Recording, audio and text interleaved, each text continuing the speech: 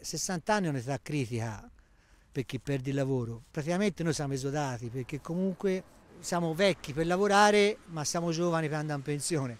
Marcello Gostinelli si sente abbandonato, rimasto senza lavoro a quattro anni e mezzo dall'inizio dell'avvertenza Beckert, lo storico stabilimento di Figline Valdarno che la multinazionale belga lasciò al proprio destino il 22 giugno 2018. Tra i destinatari delle lettere di licenziamento c'era anche Marcello.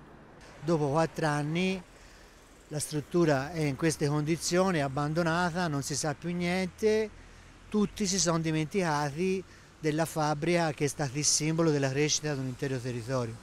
Da quel 22 giugno iniziò una battaglia a difesa dei lavoratori. Dai 318 iniziali, quelli attualmente senza un'occupazione, sono poco più di 20. Cosa si fa? Si va all'ufficio per l'impiego, si va alle agenzie interinali, ci si iscrive nelle agenzie e si prova a vedere se un, un, una botta di fortuna arriva.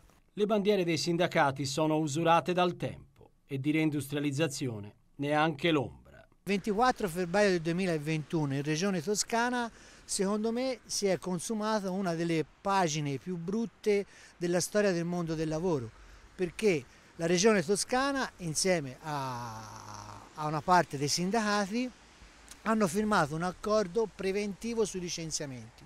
Da quel febbraio 2021 si è fatto sentire qualcuno?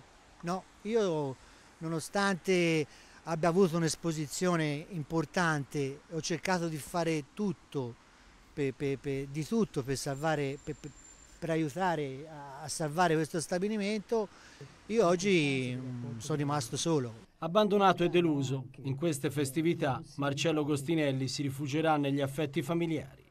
Non smetterà di cercare un lavoro, ma intanto ha deciso di lanciare un appello. A coloro che hanno fatto eh, quella manifestazione in, in piazza il 29 di giugno del 2018, continuerò ancora a ringraziarli a coloro invece che il 24 di febbraio hanno fatto quello che hanno fatto, chiedo solo un atto di coscienza, le dimissioni.